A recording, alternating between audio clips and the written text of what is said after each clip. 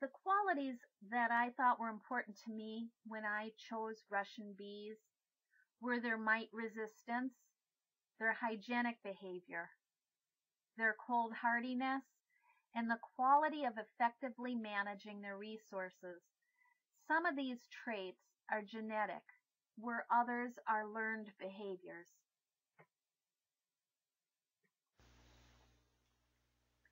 Genetic resistance and learned behaviors combined to equip Russian honeybees with a tough defense system against environmental stresses.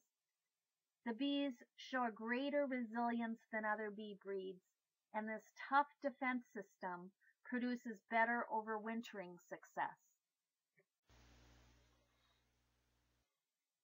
Russian bees are different than other bees in that they actively attack varroa mites.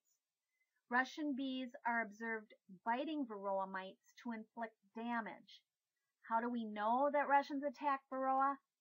Examination of dead mites collected from a, num a number of different bee colonies show that the Russian colonies had a higher proportion of varroa that had missing and damaged appendages and exoskeletons.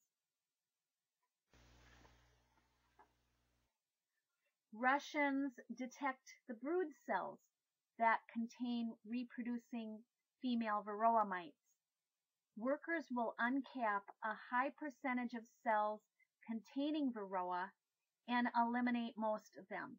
This is an image of hygienic behavior. The bees are uncapping and chewing down larvae because they detected a varroa mite.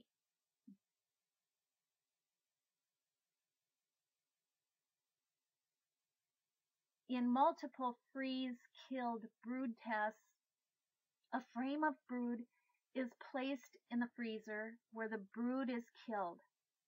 Russians surpass other breed, breeds in hygienic response, cleaning out the cells. Russian Russian honeybees exhibit a much higher proportion of varroa mites on adult bees.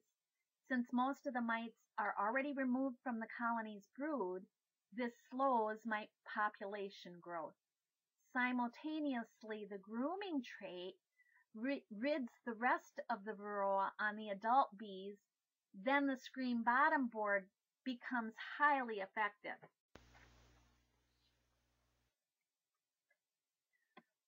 Russian bees are frugal. Brood rearing is resource driven, so brood is not seen until there is significant pollen and nectar available. Brood rearing is minimized or ceases when pollen and nectar flows end or during periods of dearth. This shortens the total time of brood rearing. Shorter total brood rearing time translates into fewer mites and increases the period that the mites can be groomed. Russian honeybees' frugality also serves to preserve the colony's stores.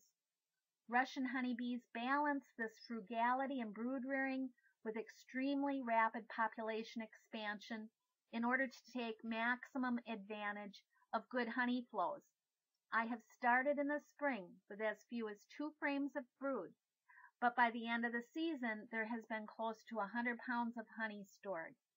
Conserving resources may be the factor that preserves the honey stores and makes them resilient and long-lived. This is one of my favorite slides to talk about because it is the number one question that everyone asks about. Russian honeybees often get a bad rap. The rap sheet includes having a bad disposition and anger management issues. The tendency to swarm, in my opinion, is overly emphasized. But to successfully raise Russian bees, you have to learn what to look for. It's up to the beekeeper to recognize the differences in Russian bees and respond differently to manage them correctly. Russians are the quietest bees I have ever worked with during a dearth or during the off season. We'll talk more about how to manage the Russian bees disposition in a final in our final segment.